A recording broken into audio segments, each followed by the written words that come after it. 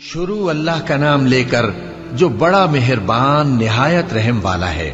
الف لام میم۔ اہل روم مغلوب ہو گئے نزدیک کے ملک میں اور وہ مغلوب ہونے کے بعد انقریب غالب آ جائیں گے چند ہی سال میں۔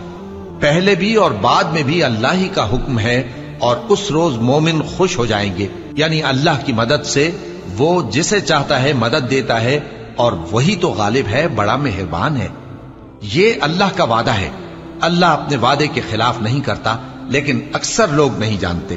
یہ لوگ دنیا کی ظاہری زندگی کو جانتے ہیں اور آخرت کی طرف سے غافل ہیں۔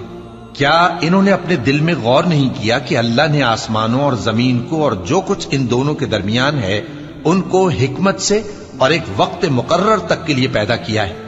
اور بہت سے لوگ اپنے پروردگار سے ملنے کے منکر ہیں۔ کیا ان لوگوں نے ملک میں سیر نہیں کی؟ سیر کرتے تو دیکھ لیتے کہ جو لوگ ان سے پہلے تھے، ان کا انجام کیسا ہوا۔ وہ ان سے زور و قوت میں کہیں زیادہ تھے۔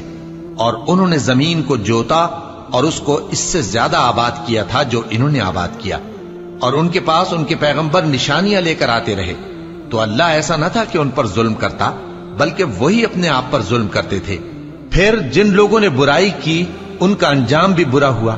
اس لیے کہ وہ اللہ کی آیتوں کو جھٹلاتے اور ان کی ہنسی اڑاتے رہے تھے۔ اللہ ہی خلقت کو پہلی بار پیدا کرتا ہے، پھر وہی اس کو دوبارہ پیدا کرے گا، پھر تم اسی کی طرف لوٹ کر جاؤ گے۔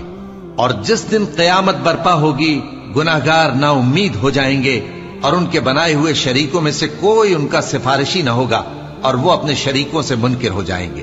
اور جس دن قیامت برپا ہوگی، اس روز وہ الگ الگ فرقے ہو جائیں گے۔ تو جو لوگ ایمان لائے اور عمل نیک کرتے رہے وہ بہشت کے باغ میں خوشحال ہوں گے اور جنہوں نے کفر کیا اور ہماری آیتوں اور آخرت کی پیشی کو جھٹلایا، وہ عذاب میں گرفتار کر کے لائے جائیں گے۔ تو جس وقت شام ہو اور جس وقت صبح ہو، اللہ کی تسبیح کرو یعنی نماز پڑھو۔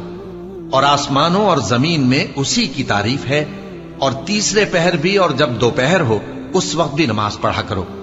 وہی زندہ کو مردے سے نکالتا ہے اور وہی مردے کو زندہ سے نکالتا ہے۔ اور وہی زمین کو اس کے مرنے کے بعد زندہ کرتا ہے اور اسی طرح تم دوبارہ زمین میں سے نکالے جاؤ گے۔ اور اسی کی نشانیوں میں سے ہے کہ اس نے تمہیں مٹی سے پیدا کیا۔ پھر اب تم انسان ہو کر جا بجا پھیل رہے ہو اور اسی کی نشانیوں میں سے ہے کہ اس نے تمہارے لیے تمہاری ہی جنس کی عورتیں پیدا کی تاکہ ان کی طرف مائل ہو کر آرام حاصل کرو اور تم میں محبت اور مہربانی پیدا کر دی۔ جو لوگ غور کرتے ہیں ان کے لیے ان باتوں میں بہت سی نشانیاں ہیں۔ اور اسی کی نشانیوں میں سے ہے آسمانوں اور زمین کا پیدا کرنا اور تمہاری زبانوں اور رنگوں کا جدا جدا ہونا۔ اہل دانش کے لیے ان باتوں میں بہت سی نشانیاں ہیں۔ اور اسی کی نشانیوں میں سے ہے تمہارا رات اور دن میں سونا اور اس کے فضل کا تلاش کرنا۔ جو لوگ سنتے ہیں، ان کے لیے ان باتوں میں بہت سی نشانیاں ہیں۔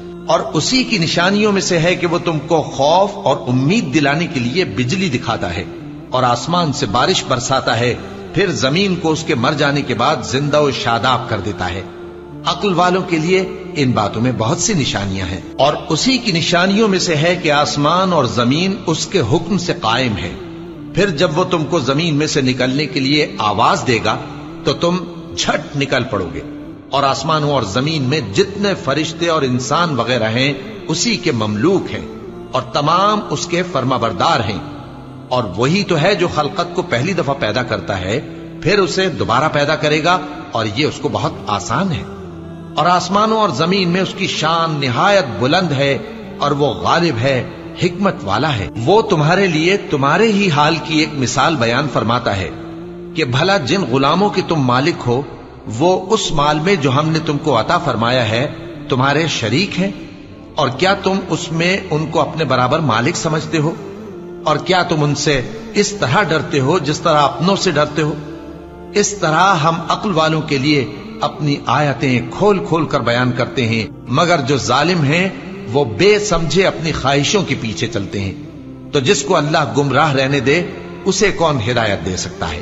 اور ان کا کوئی مددگار نہیں۔ سو تم ایک طرف کے ہو کر دین الہی پر سیدھا رخ کیے چلتے رہو اور اللہ کی فطرت کو جس پر اس نے لوگوں کو پیدا کیا ہے، اختیار کیے رہو۔ اللہ کی بنائی ہوئی فطرت میں تغیر و تبدل نہیں ہو سکتا۔ یہی سیدھا دین ہے، لیکن اکثر لوگ نہیں جانتے۔ مومنو، اسی اللہ کی طرف رجوع کیے رہو اور اس سے ڈرتے رہو اور نماز قائم کرتے رہو اور مشرکوں میں نہ ہونا۔ اور نہ ان لوگوں میں ہونا جنہوں نے اپنے دین کو ٹکڑے ٹکڑے کر دیا اور خود بھی فرقے فرقے ہو گئے۔ ہر فرقہ اسی میں مگن ہے جو اس کے پاس ہے۔ اور جب لوگوں کو تکلیف پہنچتی ہے تو اپنے پروردگار کو پکارتے ہیں۔ اسی کی طرف رجوع کرتے ہوئے پھر جب وہ ان کو اپنی رحمت کا مزہ چکھاتا ہے تو ایک فریق ان میں سے اپنے پروردگار کے ساتھ شرک کرنے لگتا ہے۔ تاکہ جو ہم نے ان کو بخشا ہے اس کی ناشکری کریں۔ سو خیر فائدے اٹھا لو۔ ان قریب تم کو اس کا انجام معلوم ہو جائے گا۔ کیا ہم نے ان پر کوئی ایسی دلیل نازل کی ہے کہ پھر وہ ان کو اللہ کے ساتھ شرک کرنا بتاتی ہے؟ اور جب ہم لوگوں کو اپنی رحمت کا مزہ چکھاتے ہیں، تو وہ اس سے خوش ہو جاتی ہیں۔ اور اگر ان کے اعمال کے سبب جو ان کے ہاتھوں نے آگے بھیجے ہیں، انہیں کوئی تکلیف پہنچے، تو نا امید ہو کر رہ جاتے ہیں۔ کیا انہوں نے نہیں دیکھا کہ اللہ ہی جس کے لیے چاہتا ہے رزق فراخ کرتا ہے اور جس کے لیے چاہتا ہے تنگ کرتا ہے؟ بے شک اس میں ایمان لانے والوں کے لیے نشانیاں ہیں۔ تو اہل قرابت اور محتاجوں اور مسافروں کو ان کا حق دیتے رہو۔ جو لوگ اللہ کی رضا کے طالب ہیں، یہ ان کے حق میں بہتر ہے۔ اور یہی لوگ کامیابی حاصل کرنے والے ہیں۔ اور جو سود تم دیتے ہو کہ وہ لوگوں کے مال میں بڑھے، تو اللہ کے نزدیک تو وہ بڑھتا بھی نہیں۔ اور جو تم زکات دیتے ہو، اللہ کی رضامندی طلب کرتے ہوئے، تو وہ موجب برکت ہے۔ اور ایسے ہی لوگ اپنے مال کو کئی گنا کرنے والے ہیں۔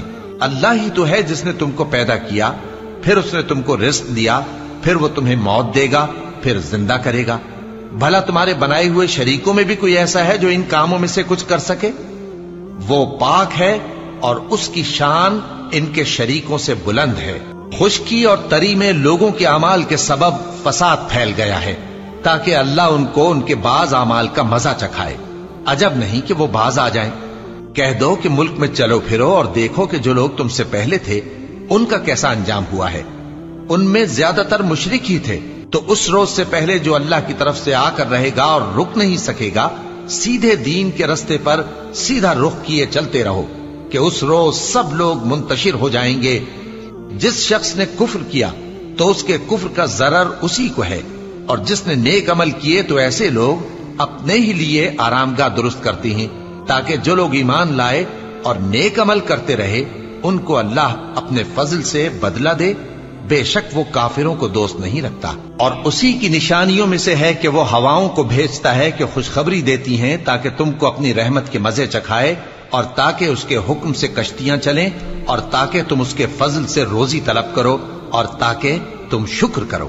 اور ہم نے تم سے پہلے بھی پیغمبر بھیجے تو وہ ان کے پاس نشانیاں لے کر آئے۔ سو جو لوگ نافرمانی کرتے تھے، ہم نے ان سے بدلہ لے کر چھوڑا۔ اور مومنوں کی مدد ہم پر لازم تھی۔ اللہ ہی تو ہے جو ہواؤں کو بھیجتا ہے، تو وہ بادل کو ابھارتی ہیں۔ پھر اللہ اس کو جس طرح چاہتا ہے، آسمان میں پھیلا دیتا اور تہ بتہ کر دیتا ہے۔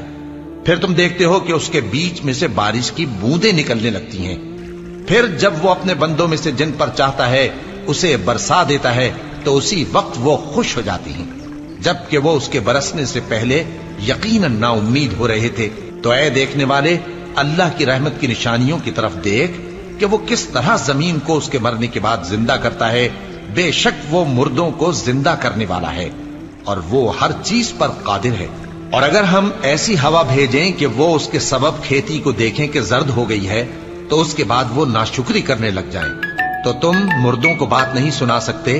اور نہ بہروں کو جب وہ پیٹ پھیر کر لوٹ جائیں، آواز سنا سکتے ہو، اور نہ اندھوں کو ان کی گمراہی سے نکال کر راہ راست پر لا سکتے ہو۔ تم تو انہی لوگوں کو سنا سکتے ہو جو ہماری آیتوں پر ایمان لاتے ہیں۔ سو وہی فرما بردار ہیں۔ اللہ ہی تو ہے جس نے تم کو ابتدا میں کمزور حالت میں پیدا کیا، پھر کمزوری کے بعد طاقت عنایت کی، پھر طاقت کے بعد کمزوری اور بڑھاپا دیا۔ وہ جو چاہتا ہے پیدا کرتا ہے۔ اور وہ صاحب علم ہے، صاحب قدرت ہے۔ اور جس روز قیامت برپا ہوگی، گناہگار قسمیں اٹھائیں گے کہ وہ دنیا میں ایک گھڑی سے زیادہ نہیں رہے تھے۔ اسی طرح وہ اوندھائے جاتے تھے۔ اور جن لوگوں کو علم اور ایمان دیا گیا تھا، وہ کہیں گے کہ اللہ کی کتاب کے مطابق تم قیامت تک رہے ہو۔